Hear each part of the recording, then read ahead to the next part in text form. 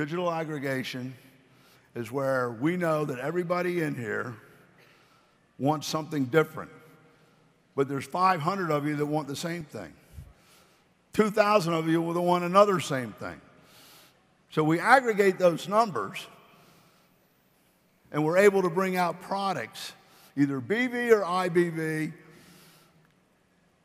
that are a lot lower price and a lot higher IBV. We exercise our muscle. We create a system right here. We already did it and it worked with you and you didn't even know.